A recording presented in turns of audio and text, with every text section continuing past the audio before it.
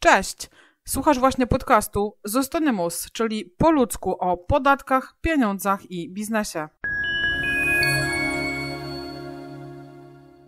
Cześć! Z tej strony Justyna Broniecka. Witam Cię na naszym podcaście Zostanimus.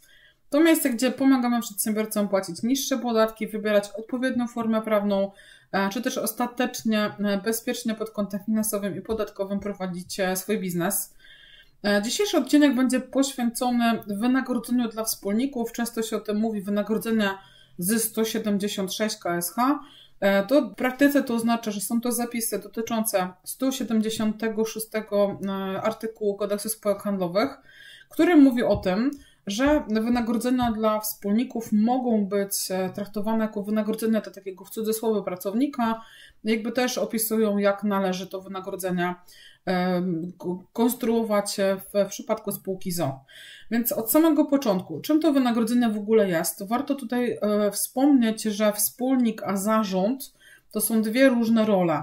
Ja sobie zdaję sprawę, że wśród słuchaczy naszego podcastu bardzo często jest, jest, jest tak, że ta sama osoba jest jednocześnie wspólnikiem, czyli założycielem spółki i jednocześnie członkiem zarządu. Natomiast tutaj mówimy o roli wspólnika, czyli osoby, która jest właścicielem udziałów. E, bardzo często jest tak, że te osoby wykonują prace operacyjne na rzecz spółki, e, czyli zamiast zatrudniania pracowników, to, to my sami jako wspólnicy wykonujemy pewne prace e, dla spółki, no i za takie prace możemy mieć wypłacane wynagrodzenia. Takie wynagrodzenie jest opodatkowane zgodnie z progami podatkowymi, czyli mamy w pierwszym progu 12%, w drugim progu 32%. Natomiast nie trzeba od tego opłacać składek ZUS-owskich. Na razie nic e, nie świadczy o tym, aby w 2023 roku miało się cokolwiek zmienić. Oczywiście, biorąc pod uwagę możliwości aktualnego rządu i szybkość wprowadzenia przepisów, nie dam sobie za te głowy uciąć.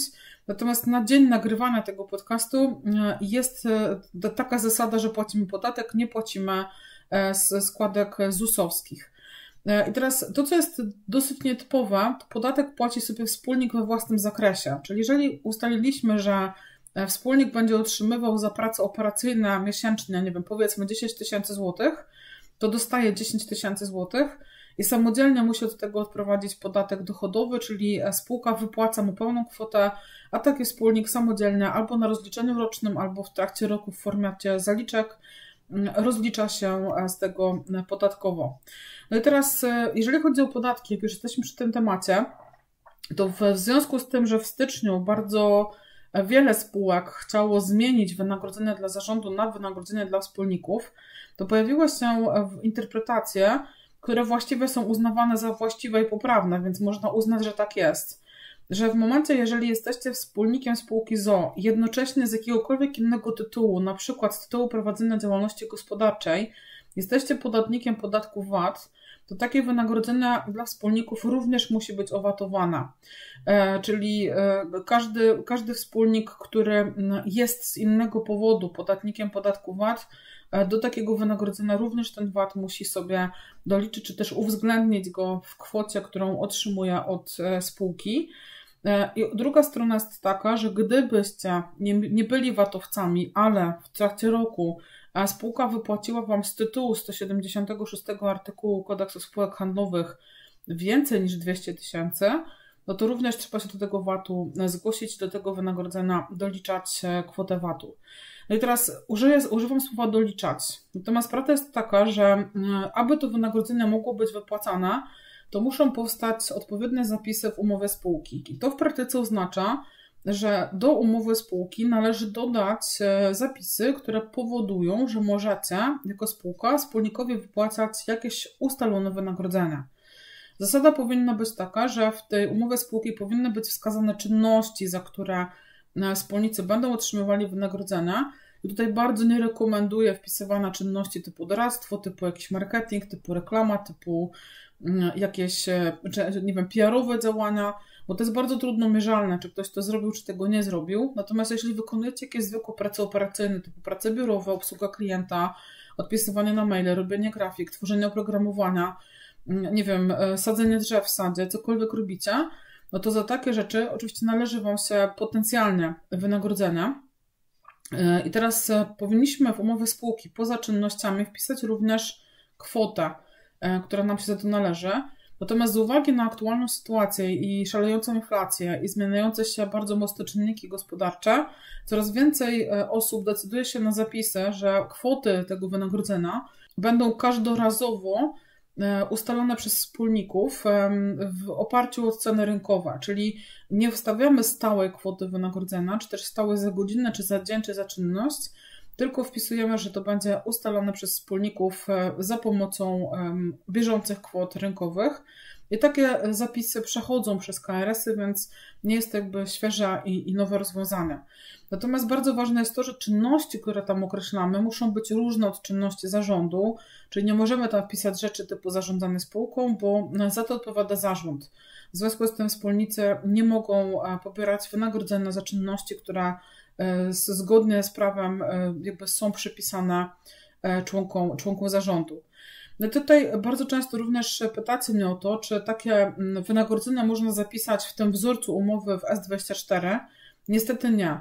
Żeby takie wynagrodzenie sobie dodać do umowy spółki, no to trzeba to zrobić przez notariusza e, i następnie zgłosić e, zmiany mm, do sądu, więc e, nie, nie można tego zrobić na tym wzorze S24, a każda, każda zmiana umowy spółki w późniejszym czasie tego typu wymaga konieczności wizyty u notariusza.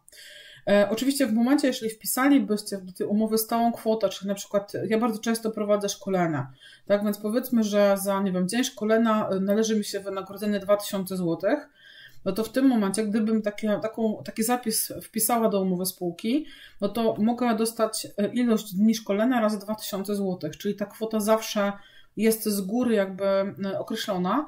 I gdybym chciała na przykład sobie tę stawkę zmienić na 3000, no to ponownie muszę zmieniać umowę spółki, więc dlatego coraz częściej się wstawia ten zapis, że e, stawki będą wypłacane po cenach rynkowych i każdorazowo będą ustalali to e, wspólnicy. No i e, jakby jak jesteśmy już przy tym temacie, no właśnie, cofnijmy się do stycznia 2022 roku, kiedy w życie wchodzą przepisy Nowego Ładu, o którym było bardzo głośno i hucznie. E, I to był moment, kiedy bardzo wiele przedsiębiorców zastanawiało się, czy wymienić e, wynagrodzenie dla zarządu na wynagrodzenie dla wspólników.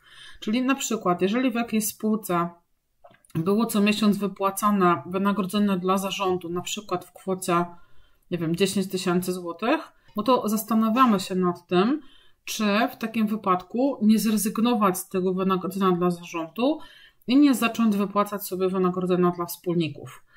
I teraz oczywiście każdy podejmuje swoje ryzyko, natomiast w mojej ocenie zamiana wprost jest e, niezbyt mądrą decyzją e, i to jest związane z tym, że mm, jakby no urzędnicy mają dostęp do naszych dokumentów właściwie na bieżąco, bo składamy dzisiaj JPEG i za chwilę będziemy musieli składać deklaracje, które pokazują wszystkie ruchy finansowe. E, więc e, okaże się, że mają dostęp do tych informacji. Z drugiej strony, jeżeli zarząd nie otrzymuje żadnego wynagrodzenia za swoją pracę, no to może się okazać, że przy okazji jakiejś kontroli zostanie to potraktowane jako przychód dla spółki, czyli że e, spółka otrzymuje jakieś korzyści, natomiast nie płaci za to, czyli jakby nie ma kosztu, a ma przychody, w związku z tym trzeba tą pracę opodatkować. E, więc jeżeli ktoś chce z tego wynagrodzenia dla wspólników skorzystać, to raczej powinien to dodać, a nie zamienić, albo częściowo zlikwidować e, zarząd, czy na przykład nie wiem, obniżyć to o połowę kwoty, a resztę dodać na wspólniku. Natomiast pamiętajcie o tym, że mm, to wynagrodzenie dla wspólników e, wymaga zmiany umowy spółki, wymaga comiesięcznego rozliczenia i warto sobie przeliczyć, czy te wszystkie opłaty związane ze zgłoszeniem do sądu, notariuszem, prawnikiem nie są przypadkiem wyższe e, niż potencjalne niekorzyści związane z zapłatą składki zdrowotnej przy okazji wynagrodzenia dla, e, dla, e, dla zarządu.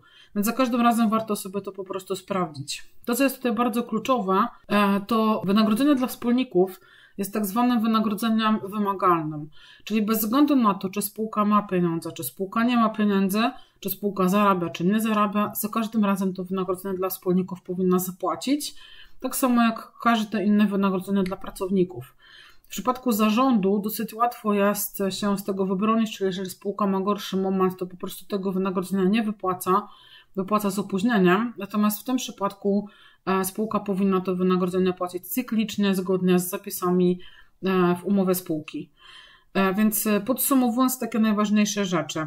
Wynagrodzenie wynikające ze 176 artykułu kodeksu spółek handlowych jest to wynagrodzenie dla wspólników, czyli właścicieli udziałów, za pracę operacyjną na rzecz spółki.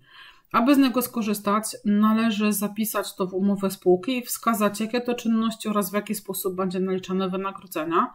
Takie wynagrodzenie jest zawsze wymagalne, bez względu na to, w jakiej kondycji finansowej jest spółka.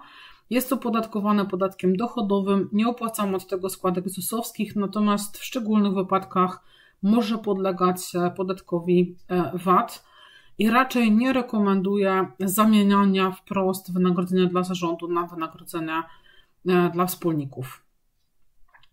Mam nadzieję, że to jakby wyjaśnia główne kluczowe elementy tego naszego 176 KSH. Mi pozostaje życzyć Wam zdrowych, udanych świąt Bożego Narodzenia. Odpoczywajcie, e, bądźcie silni e, i z nową energią rozpocznijmy nowy rok. Mam nadzieję, że dla nas wszystkich E, trochę bardziej spokojne, bo chyba e, za, za spokojem najbardziej dzisiaj wszyscy tęsknimy. To co, zdrowych, wesołych świąt i do usłyszenia kolejnym razem.